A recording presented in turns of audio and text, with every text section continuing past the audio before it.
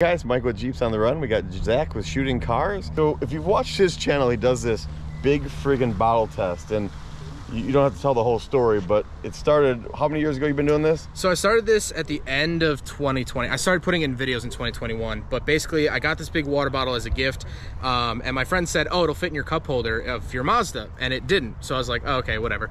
Tested it in a Ford Bronco Sport, it didn't pass as well. But then I drove a Honda HRV, and it fit perfectly. So I was like, "Okay, maybe I'm onto something here." So sure. 800 cars later, I think somewhere around there, might be seven or 800 cars later. Um, it has about a 26% pass rate, and it's uh, it's been fun to test every car. So we're testing some Jeeps here today at the Mama Fall Rally. And I think it's funny. So, you know, these, this is, you probably got into this before like the Yeti and the Stanley Cup Yeah, a thing. yeah, yeah, yeah. So all kidding aside, if you're interested to know what cars hold a large, well, a big friggin' bottle, Yeah. uh, you're gonna definitely want to check out Zach's channel Yeah. because uh, you'll you'll you'll learn real quick. And in the in the descriptions of my videos, you can find a spreadsheet of all the cars that oh, have Oh, ever passed and failed. So your your Ram TRX is on there. We'll four- do a big friggin' bottle test here in the Ram TRX. And ladies and gentlemen, unfortunately, it fails.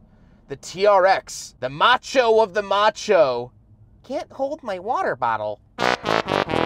On there. The four x on there. Love so, it. Um, yeah, super cool. And my CJ2A does not have a cup holder, so It it doesn't. passed. So it Or does in failed, fact rather, fails. Yeah. but color match though. yeah. so check out Shooting Cars, and uh, you can check out the big friggin' bottle. Thanks, Zach. Awesome.